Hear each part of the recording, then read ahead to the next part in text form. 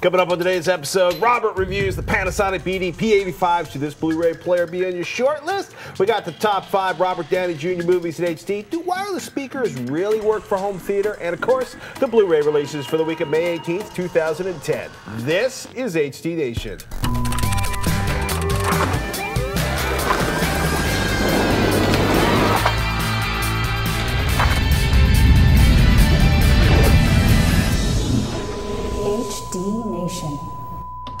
Today's episode is brought to you by Verizon Droid Apps, Squarespace, and Netflix.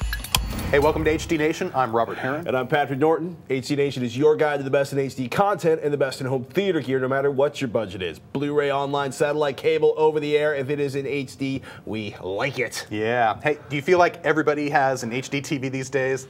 Uh, not quite. The CEA just announced that 65% of U.S. households now own an HD TV. 86% of U.S. households own a computer. That's a that's the third most owned CE consumer electronics product after televisions and DVD players. Uh, that HDTV number is up from, damn, 13% of households only a year ago. Another 23% of the folks in the study said that they plan to buy an HD TV in the next 12 months, while the average household now has 1.8 HD TVs, and that's up from 1.5 a year ago. I think all of this really would help explain how Patrick keeps finding Blu-ray discs on sale at the rural 7-Eleven stores. Right next to the, you know where you usually see Wherever like- you find them on sale, buy them. I, I know, they're pay like full 11 price? bucks. Just just wander around to the 7-Eleven when you're in the middle of nowhere, and look, right next to the giant candy rack is a rack of Blu-rays. I was filling out my uh, Arnold Schwarzenegger library of Blu-rays on Amazon. They had like the Right. what, what can I get for under ten bucks? It's like, oh yeah, that one. No, no. I ended up buying a second copy of Total Recall though. I just, I wanted. I you love that movie so much. I, I didn't want that one though. I wanted Running Man, and I ended up buying Total Recall on accident. And then I went in my library, and I'm like, I already had. Oh, it's just Total Recall. a big cluster F. You just want to see the ice hockey scene in The Running Man. I the like timing on those one-liners by our governor. It's Richard Dawson. He, he makes Running Man. He me, does so. make Running Man. Anyway. Look, I hope you didn't download a pirated copy of the Academy Award winning The Hurt Locker. The Hollywood Reporter says that the producers are, quote, preparing a law, massive, excuse me, not just preparing a lawsuit, a massive lawsuit against thousands of individuals who pirated the film online. Lawyers working on the project claim tens of thousands of individuals will be targeted at least after they file the lawsuit, subpoena ISP records, and start matching out illicit BitTorrent downloads against IP addresses. They uh, added, the lawyer said that 75% of the ISPs they've contacted have cooperated fully. Those that have resisted are mostly doing so, they say, because of the amount of work involved in handing over thousands of names rather than, say, waiting for legal due process because you got a subpoena before you turn over the stuff. If your name ends up on their list, you can expect to be sent a settlement offer from the U.S. Copyright Group, which was hired by the producers of The Hurt Locker, uh, uh, and then probably a second settlement offer and then probably massive legal ass kicking. The producers of The Hurt Locker are particularly miffed because copies of the movies leaked onto the internet five months before the U.S. release. Not a particularly wide release, I might add. It was never in more than like 535 theaters in the U.S. And then, of course, the downloads went nuts. The BitTorrent, the, the illicit downloading went berserk after the film won six Oscars. Oh yeah. Yeah, films grossed a total of $16 million in the U.S., 42 million worldwide, and cost 15 million to make. Why, why bother with all this effort and paying all these lawyers all this money to do all this work when they could be just getting the format out there, getting the disc out at lower prices Right. to encourage more people to buy it? I just, I think hunting pirates is kind of a waste of money in my mind. It'll be interesting to see what they, if you maybe they'll make a bunch of money. This will be a new model. Apparently, a lot of it, what what this, the the kind of backstory, the hidden agenda inside the Hollywood Reporter story was that a lot of independents are getting hammered, either because their distribution isn't good or they can't get the cost down on the discs, and they're finding a lot of potential viewers are pirating the content rather than obtaining it through. They'll make better pirates using encrypted BitTorrent clients. Right. And that doesn't even address, like, if you go into any major city, you go into the back store of some Right. electronics shop and they've got every disc pirated for seven bucks a pop. And I've been in enough of those stores to go, okay, uh, those people aren't tracked at all. I think it's interesting that the movie made more money worldwide in distribution, basically more money outside the U.S. than inside the U.S., um, given that usually the piracy issues are related more to the rest of the world rather than inside the U.S. I'm an I- image quality snob too, so I'm going for the. Blu-ray version, which I'm not dealing with 40 gigs of data anywhere. The so- Blu-ray version looks spectacular. If you haven't seen it, rent the Blu-ray version. It's uh, it's interesting. Now, in the continuing battle between Wi-Fi, gigabit Ethernet, and my desire to stream movies in full high-definition quality without stuttering, the Wi-Fi Alliance and WiGig, aka the Wireless Gigabit Alliance, have teamed up to deliver WiGig. Think 60 gigahertz of bandwidth, wireless delivery up to 7 gigabits per second. Nice. Roughly 10 times of what 802.11n tops out at. Now, before you go off wondering, when will this new WiGig router appear? The word is 2013 before the technology is pretty much finalized. I think we're going to have probably draft WiGig products and things like that. I think the draft is pretty close. and the- Okay. The, two competing standards have kind of come together, and they're reaching out to all the major. That's good because I'm now seeing not a flood, but I'm seeing the, tr- the initial trickle of the wireless HD products that are coming out. Funny so, you should mention that. in case anybody out there is wondering about that wireless HD alliance, folks at Engadget have a pretty good report that they'll support WiGig with dual mode wireless HD and WiGig silicon, now available from SiBEAM. There's that company I was trying to think of. And that the spec has been updated to support 3D, HDCP 2.0, and data rates over 10 gigabit. Yeah. Pretty sweet. And if you're looking for something a bit sooner, Amimon says that it shipped half a million of its 1080p wireless HD or WHDI chipsets. They claim that the first wireless home digital interface products should be shipping later this year. Yeah. That's pretty cool. And CNET's Crave reports that Amimon is having chipsets shipping in volume to Asus, Gefen, Haier, LG, Mitsubishi, Philips, Sharp, Sony, and others. And before you get ready to rip out your Ethernet cable, WHDI is for HD video and audio. In other words, eliminating the HDMI cable, not necessarily for video or not for data transmission, but I see some crossover happening there. Or at least dual compatibility products, definitely. Hopefully using that SiBEAM chipset too. Yes. Yes. More speed. Speaking of yes, Kaleidoscape. Remember them? They're the market leader in movie servers, aka the really expensive but legal way to archive your DVDs on a server. They've revealed their Blu-ray products, the M300 and the M500. The M500 offers the ability to import Blu-rays, DVDs, and CDs onto your home server. You just need the physical Blu-ray present to play it back from the server to address the concerns of the studios. Sound a little ridiculous? You need the Blu-ray in the player to play back the Blu-ray from your Server. server. Yeah, Ah. well, Kaleidoscape's working on a disk loader to keep a large number of disks ready for playback and deliver bulk importing, which is a cool thought. I personally can't see to. I just can't wait to see what the the the, the large disk device costs, given the M500 costs a hefty four thousand dollars, and the playback only M300 rings up at twenty five hundred dollars. But it can play back movies from the Kaleidoscape server along with the physical disks. Interesting. They're trying. They're trying very hard. They're bringing that price down. It's, it's, that server starts at 10 grand though. Keep that in mind. And I built mine for what? Tenth that price? Hmm. Anyway, fans of PlayOn, the media server software that makes it easy to deliver Hulu, Netflix, YouTube, Amazon VOD, and lots of other online video sources to various boxes around your home, is moving from the flat 19.99 fee to $39.99 eh, with an annual recurring payment of $19.99. Now, in exchange for the enhanced pricing, enhanced, I like that, Media Mall will be bringing Play On premium content from Comedy Central, the NHL, TV.com, and PBS. But you have until May 20th to buy that $19.99 lifetime license if you don't already own the software. I'm sitting there thinking like PBS, Comedy Central, the NHL. Or is PlayOn headquartered in Minnesota, or is everybody buying PlayOn in Minnesota? The playoffs are just about over though for the NHL, so uh, I don't know. I'm Well, still. maybe until next year. Oh, there you go. Maybe they'll have. Well, you You can't. You get that lifetime license if you want it. Speaking of weird moves, Comcast announced the cable show they're going to have 11,000 movies on demand. They claim that they'll take their VOD library from 8,500 hours to 70,000 hours. That's the, the number that was quoted by That'sNotFunny.com. Or given that, I think it's 8,766 hours in a year, roughly eight years of video without repeating a single video. Engadget HD says 3,000 of those titles are going to be in HD, and that Comcast gets something like 350 million Comcast on demand views per month, and that, quote, if On Demand was its own channel, it would be the second highest watched channel on Comcast cable. That's not to be confused, by the way, with the online Fancast Xfinity TV offering, says Engadget HD, which already has 1,500 movies from cable, 5,500 movies on the site for rent or purchase. And for the new service, the video on demand service, Washington and Philly are going to get the expanded VOD services first. Yeah, I'm sitting there and I'm like, they didn't say they didn't say what the number one channel was, and they also didn't say how many of those 70,000 hours are going to be softcore pornography. A tip of the Ooh. hat to uh, to 30 Rock for having a hysterical, Oh, really? hysterical. Well, if you haven't seen the episode, check I'm not gonna. You'll you'll find it. Excellent. And while I'm waiting for my Ceton 4 cable card tuner to show up, rumor has it that the HD Home Run will have a three tuner card for the holidays. Folks at Engadget are reporting that unlike the Ceton cards, which live inside a PC, the new HD Home Run boxes are networked devices that capture video off the cable and then spit it out over gigabit Ethernet conne- connections. And that's at least until we have that WiGig technology show up. Heck oh yes. goodness.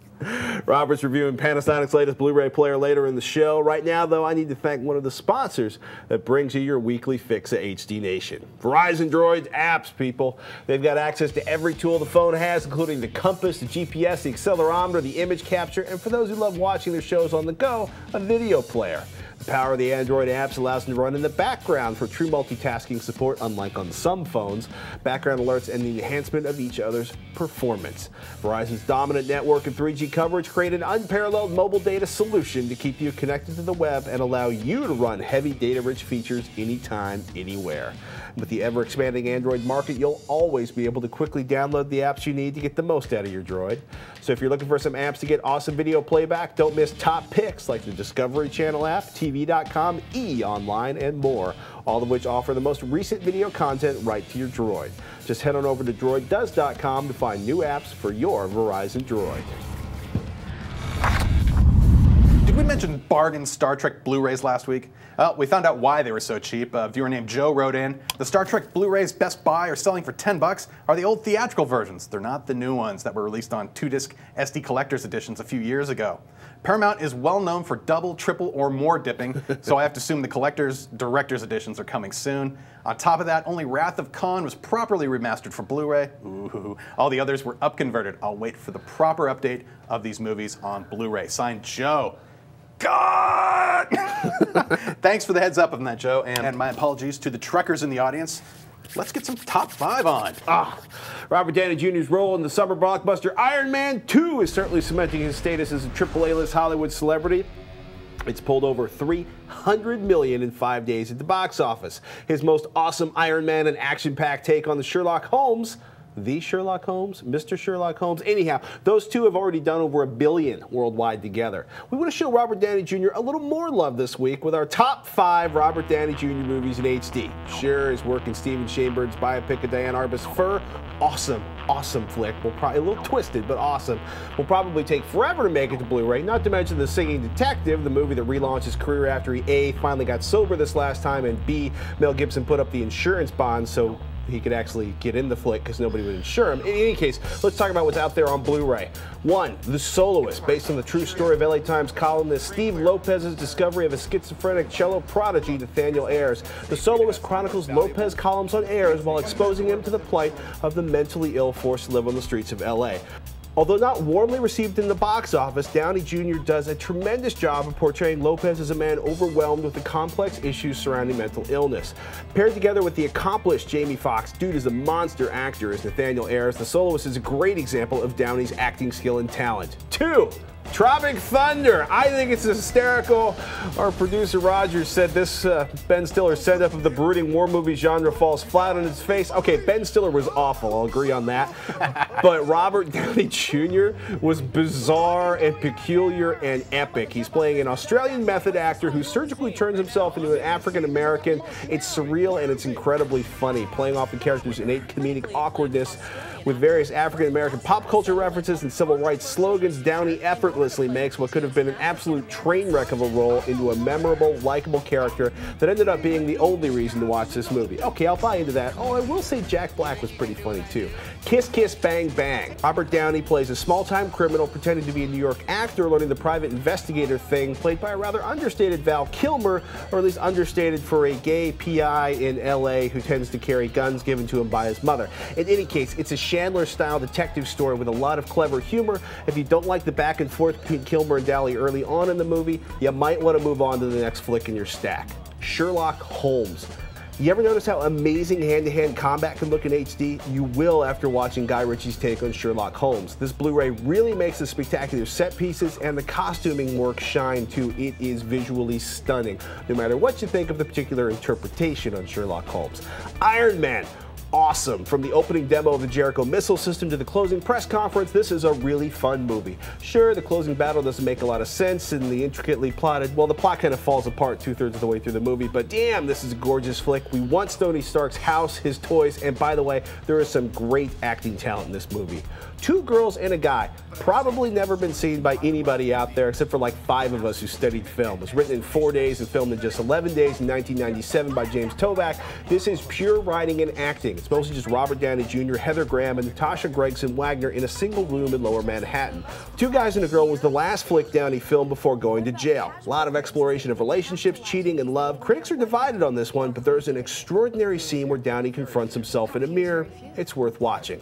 Two flicks we can't believe aren't out in HD yet. Chaplin. Ebert dinged this flick for spending too much time on Chaplin's sex life and almost no time on Chaplin's movies and what made them great. It's a fair call, but he did take pains to point out that Robert Downey Jr. succeeds almost uncannily. This is a quote, by the way.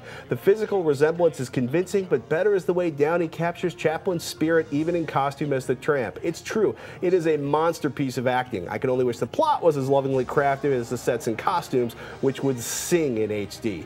Finally, to end off our list, Less Than Zero, an ugly little time capsule of 80s success amongst LA's glittering youth, or I should say drug fueled youth. Less Than Zero predates Downey's very public battles with addiction. An HD edition would really bring out Downey's spectacularly nuanced facial work. There's a lot of skill going on in that face for somebody so young. Not to mention Andrew McCarthy and the rest of the cast. And I gotta say, Downey's work, people say, this movie led him to drugs? No way. This movie was him opening up about how he felt about his existing, probably, addiction issues. Good stuff. I want to see it on Blu-ray. So does Heron. So does Roger. Who knows who else out there does? I want Weird Science on Blu-ray. Where's that? I mean, granted, he's not a, it's not a starring role for him, but he did play one of the heavies in the movie, one of the cool kids, kind of going up against uh, Michael Anthony Hall's character. But I haven't thought about that, that movie, made me laugh a lot as a teenager. But I look, It's a funny flick. yeah, not as not as so for nowadays. I have to say, The Hangover gets me giggling like nothing else. But when I was a teenager, man, Weird Science, good stuff. anyway, it's time for the new Blu-ray releases for the week of May 18th, 2010. First up, Invictus, starring Morgan Freeman and Matt Damon and directed by Clint Eastwood. This 2009 film is based on the real-life events about the 1995 Rugby World Cup. Morgan Freeman plays Nelson Mandela, who tries to unite his country in the wake of South African apartheid, bringing everyone together to cheer for the home team. Extras on the disc, exclusive to the Blu ray release, are clips from the documentary The Eastwood Factor, plus Mandela Meets Morgan, and even a picture in picture exploration with the cast, crew, and the real people who live this true story. Next up, 2009's The Messenger, starring Woody Harrelson and Ben Foster. This film tells the story of a U.S. Army officer who is assigned to casualty notification duty. Now, it's his job to deliver the bad news to the families of the fallen soldiers, and things take a turn when he starts to bond with one of the new widows. Extras on this disc include behind-the-scenes footage, a Q&A with the cast and crew, and a documentary about the notification process. Next up, to lighten the mood, we have The Spy Next Door. It stars Jackie Chan as a former CIA super spy who decides to settle down with his girlfriend. Unfortunately, taking care of her three kids isn't as easy as it seems. Also starring Billy Ray Cyrus and George Lopez. This isn't the most artsy film out there, but if you want to hear someone say, spying is easy, babysitting is hard, or watch someone feed bacon to a pig, this is the flick for you. Carlito's Way is a bit grittier. Uh, Patrick, you had a chance to watch this one, right? Yeah, it, it's a little, it's a, it's a twitch grittier. This is Brian De Palma's recovery after his epic bomb Bonfire of the Vanities. Carlito's Way is a gangster flick set in New York City in 1975. Al Pacino as Carlito Brigante and Sean Penn is absolutely whacked nut job lawyer Sean Penn. It's just Sean Penn's over the top. It's an amazing performance. This movie features an awesome chase scene and signs of all the Dutch camera work that would work so well for De Palma in Mission Impossible. The 1080p transfer captures the color of the 70s quite well. There's a lot of soft shooting in here, so there might not be as much detail as you expect, but still a lot more than the DVDs. Look for the cuffs on uh, Sean Penn's Psycho Lawyer, and the 5.1 soundtrack works especially well in the oh so many nightclub scenes. A lot of, lot of time in nightclubs doing a lot of naughty stuff. Excellent. A lot of nightclub scenes. Uh, Other releases this week include Extraordinary Measures, The New Daughter, 2008's Outlander, 2010's Valentine's Day, and the Criterion Collection's Walkabout. Oh, and a quick heads up if you're having trouble finding the new Saving Private Ryan Blu ray on shelves, Paramount recalled it after finding a sync glitch with the audio. They're reissuing the disc and putting it back on the shelves May 18th. So if you have one of the discs with a glitch, there's a number you can call. Do a quick search on highdefdiscnews.com to find it. Now it's time to thank one of our sponsors. With more than 12 million members, Netflix is the world's largest subscription service, streaming movies and TV episodes over the internet and sending DVDs by mail.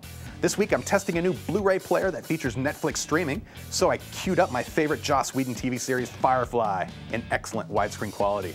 For $8.99 a month, the Netflix members can instantly watch unlimited TV episodes and movies streamed to their TVs and computers and can receive unlimited DVDs delivered quickly to their homes. With Netflix, there are never any due dates or late fees. Members can select from a growing library of titles that can be watched instantly and a vast array of titles on DVD. Among the large and expanding base of devices that can stream movies and TV episodes from Netflix right to members' TVs are Microsoft's Xbox 360, Sony's PS3, and the Nintendo Wii console. Find movies you love easily. You can browse, search, or see Netflix's recommendations for you. They even have a special back of box feature that lets you get the details of any movie instantly. As a Netflix Unlimited member, you get Blu ray movies in the mail in about one business day. Shipping is free and there are no late fees or due dates. Blu ray plans start at just $5.99 a month. As a new member and HD Nation viewer, you can get a free Netflix trial membership. Go to www.netflix.com slash hdnation and sign up now. Be sure to use this URL so that they know we sent you. Looking for 7.1 support and Wi-Fi on your next Blu-ray player? Mr. Heron's got a new Panasonic player that might be looking for a spot on your short list. Yeah, let me introduce you to the Panasonic DMP BD85P in the beautiful gloss black color. The scheme. heavy Uh, gloss black color. I'm telling you, what player isn't really? Uh, $250 online retail price or from the direct from the Samsung website. The main features of this player, it supports analog output. So if you have an older AVR that has analog inputs, but you still want full fidelity sound with all the latest lossless formats, 5.1 and 7.1 support are built right into the back of the player, so you can just hook up all those cables and go crazy. It also has, as do most uh, Panasonic products, an SD card slot, so you can easily vi- view your pictures and music on that as well. Now, this is not a 3D compatible version of a product. They have two other models that are steps up if you need 3D output. And it does include in the box, I have to admit, a pretty nice feature, a USB ABGN Wi Fi adapter, which is great. Uh, I looked up the price separately for just the adapter. They went about 80 to $100 for that online. So it's nice that it actually comes in the box for the $250 price tag. Online features. Uh, this supports the VieraCast. That's Panasonic's word for their internet-enabled features that include Picasa, Netflix, Amazon, stuff you see up behind me on the screen. Amazon Video on Demand. But one thing missing that a lot of people are a little irked about: no music services yet. There is that No box Pandora? though. There is a coming soon box in the corner that people are hoping Pandora is going to sneak in there soon. Pandora had deals with everybody on the planet. I, they're- apparently, they're not. They're, they're in discussions with. Uh, you can play like MP3s off a home server or off of your SD card, though, right? Uh, off the SD card, yes. Okay. Uh, network streaming support is not built into this player. Oh, really? So that's something else to keep in mind too. So no streaming movies, no streaming audio. Uh, no. Oh, uh, from your home server, no. From the online services, yeah, you Good to know. Uh, we were talking about uh, 24p output, I think, a couple weeks ago.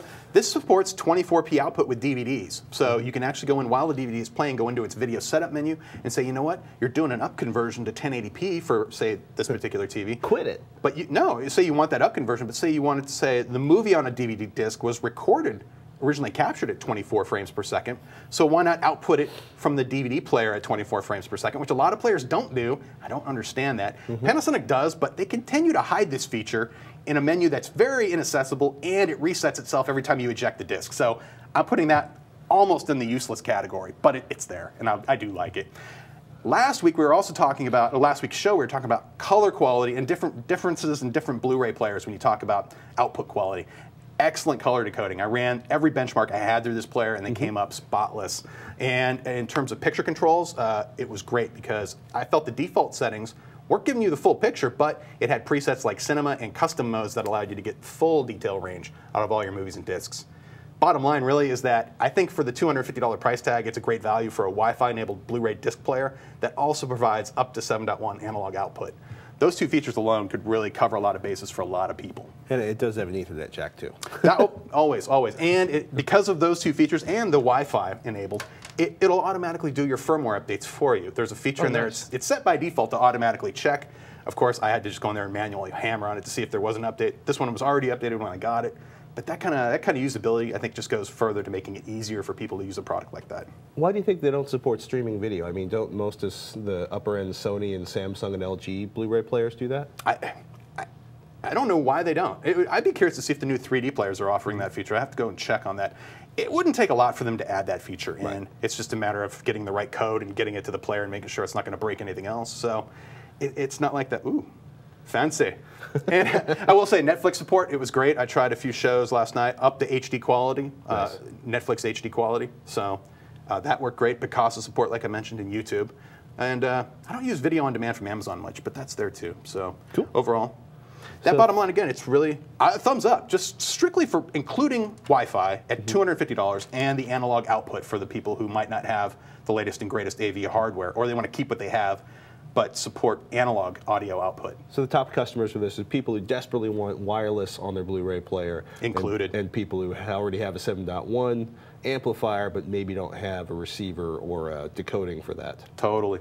And excellent, excellent overall picture quality in terms of color detail and picture detail. So if you're going to blow this picture up to 55-inch screens and beyond, uh, I'd put it on my short list. All right. Coming up, we got viewer questions and an example of one amazing home theater built by one of our viewers out there. Right now, though, we got to thank one of our sponsors, Squarespace. It's a publishing system, it's a hosting system. What's that mean? You build websites with it, and there's no coding required. You can get behind the scenes and edit HTML if you're into that, but quite frankly, this is about making it easy for anyone to build an amazing website. They also make it easy to move your existing website over to squarespace.com. They support WordPress, Blogger, TypePad, movable type imports. They'll grab your posts, your comments, your tags, your authors, and media with one simple import tool. And it saves the URL structure of your existing site and creates mappings for every single one of your old posts automatically, so your links will all still work. And this is painfully easy to use. A moron like me can build a good looking website. Now we got a promo code for you. Squarespace does things a little bit differently. Rather than using the promo code when you first come to the website, they let you sign up, check things out, play with it for a couple of weeks, and then they ask you to pay for it. Basically, whip out your credit card and go away. Now, if you use the code HDNation, you're going to score 10% off the lifetime of your order. Check it out. It's painless, painless, painless website building and hosting. And if you use that HD Nation promo code, you get 10% off your order and you help keep HD Nation on the air. Check it out, people. Squarespace.com. We got this email from Adam, and he writes, Hey, Robert and Patrick, I enjoy the show and I catch it at the gym every week on my iPhone. What I'm wondering is the following. One, are there any amazing sounding standalone 5.1 speaker sets that I can hook up to my Pioneer receiver that include wireless rear speakers? I see a lot of home theater in a box with wireless rear speakers, but not standalone sets. I would also like to know if these standalone wireless sets are okay in terms of not picking up interference from Wi-Fi, cell phones, etc. Signed, Adam. All right, Adam, I gotta say, I generally prefer wires to wireless. There's no compression, no transition, and minimal weirdness from, say, cab radios going by screaming out, you know, weird call requests. In, in any case, you said you don't necessarily need a specific set of wireless rear speakers. You might want to consider keeping the speakers you already have or buying whatever set of speakers you want and getting a wireless rear speaker adapter. Check out the Rocketfish Universal Wireless Rear Speaker Kit. It's around 100 bucks. It's from a house brand at Best Buy. Rocketfish is a house brand at Best Buy. It's cheap. It includes dual 25 watt amps, and according to reviewers over at CNET who got hands on with it, it sounds pretty good. Downside, there's no remote control option, so you need to toggle them off and on manually. And you cannot turn off the delay for these speakers, so the CNET folks said they can sound too echoey. And by the way, they pretty much wanted them turned off when listening to stereo programming because there were buzz and hiss issues there that were not noticeable when they were in full 5.1 surround sound sound pretty negative? Well, it might be manageable given the $600 price tag for KEF's universal wireless system, which is pretty much the gold standard for wireless surround, assuming a receiver manufacturer doesn't have a kit. It also might be worth checking out the $250 Bose SL2 wireless surround link. As far as I understand, it's not locked down to Bose receivers. That means if it offers their usual clean audio, it could be a winner in a nice sort of in between prices. I really would not recommend going with full 5.1 wireless sound. You're just just going to compromise too much of the audio going to your front and center channel speakers. Is there anything that runs that audio signal from your AVR, say, through your home wiring, like your power wiring? Not that I've seen yet. You could just plug it into the wall, maybe. There's Not- probably some issue there. Yeah, I'd like we- to search around for something like that. It's well, it's funny. My issue with wireless, whether or for that matter, for for writing anything over wireless, isn't too bad. It's really interesting. They, it's possible, but I think you would pick up if it's analog, you're going to pick up noise from the.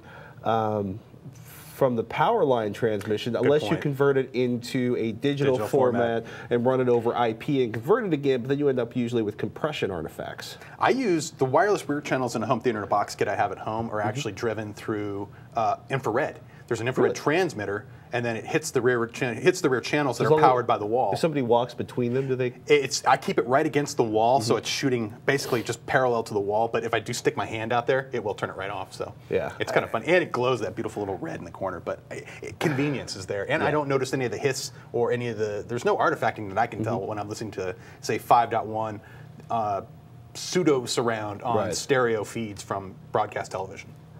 That's a good thing. Most of the time, I think people notice it when there's nothing going on for the rear channels.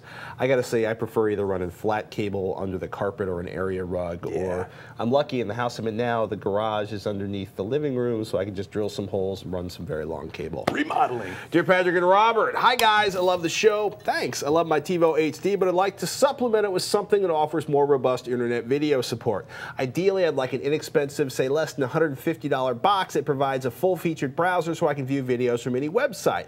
I've been thinking about purchasing either the Boxee Box or the Pop Box. I know that you've reviewed both of these products individually, but how do they compare to one another? Are there any other products in this price range you would recommend? I appreciate your input. Keep up the good work. We'll do our best. Rick in Denver, Colorado.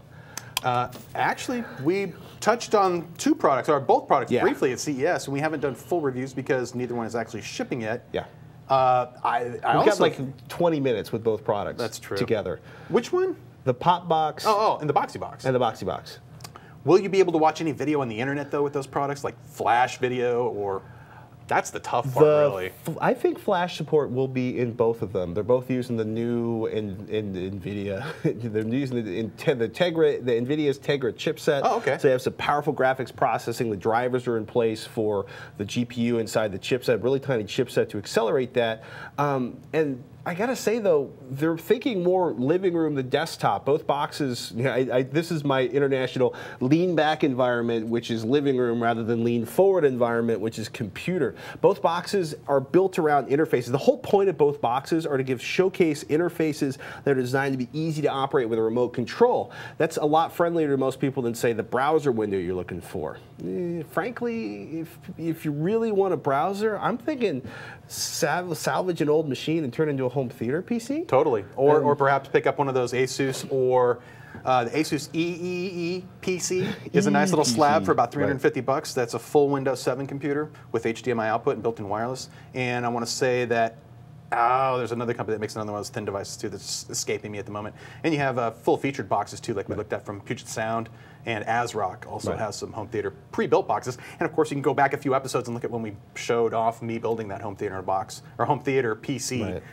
You can always do it yourself. So $150 though is going to be tough. I'm Yeah. almost positive both the pop box and the Boxee Box are coming in more than that. I, I could have sworn. Look, we're going to have reviews of both of them as soon as we can get our hands on them. They're just not available. And if somebody does have a $150 solution, email us, Do it. hdnation at revision3.com. hey, we also asked you for pics of your home theaters, and check this one out from Jason in Seattle. He writes, just watched your episode number 44 with the million dollar home theaters and Patrick's invitation to send in emails with your own viewers' theaters on much more modest budgets. I built my home theater a, a few years back by myself. Well, save a little help from the drywall pros. You always need that, and an electrician. Yeah. That turned out amazingly well on a meager, me- meager budget by comparison. Uh, here's a full description of it. It's basically a CinemaScope, 235 to 1, 128 inch screen. Wow. He's using an anamorphic lens attached to a BenQ W5000 1080p DLP projector. Nice. The room also features two rows of seating, butt kicker transducers installed into the seating. Yes. And a lot of custom home theater PC automation. Movies and music are stored on a 2 terabyte NAS or played back via BD-ROM. My theater has been profiled in Electronic House Magazine's website in the DIY column, and soon will be featured in a hardcover book of the same category. Big thanks to all the wonderful people on AVS Forum for helping me build my uh, build up my knowledge and motivation to tackle this project. Now, get this: total cost, including all room construction and equipment, clocks in at around the twenty to twenty-five thousand dollar mark, and hopefully no need to upgrade for a little while now. Cheers, signed Jason from Seattle. That's a good looking home theater. Still a little, little out of my reach. Slick though, but it, it- just But that's a lot you. better than 50,000. Totally, for about half the budget we were showing, or, or a quarter of the budget, or less, less than that of the budget we were showing for the theaters last week.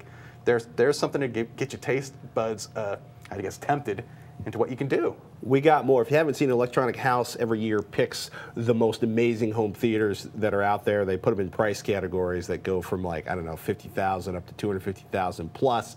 We had a, a few of those in episode forty-four. We got links to the website. We want to see your home theater setups. Email them to us, hdnation at revision3.com. By the way, if you haven't heard it, we have teamed up with Miso like the soup. If you're familiar with Foursquare, the concept is pretty much the same, except for checking into locations. You actually check in to log and share media that you're watching. So if you're a fan of HD Nation, check out Miso on the iPhone to unlock exclusive HD Nation badges and win special prizes. Go to gomiso.com to download Miso, Miso, and start checking in. It's a lot of miso. Mm, Get the sushi rolling. Hey, we hope you guys enjoyed this episode of HD Nation. As always, we want to know what you think, so send your comments, questions, or suggestions to hdnation at revision3.com. If you haven't, be sure to catch us on YouTube. You can find our channel at youtube.com slash techhd, and you can find links regarding everything we've talked about on today's show in the show notes. Those are up on each episode page at hdnation.tv. You also find all the links to subscribe to the show, so if you're not getting the latest episode of HD Nation delivered to your doorstep, what are you waiting for? That's right. Do us a favor, people. Subscribe, watch, and tell your friends. Until next time, Hey, thanks for watching. I'm Robert Heron. I'm Patrick Norton. We'll see you next week on HD Nation.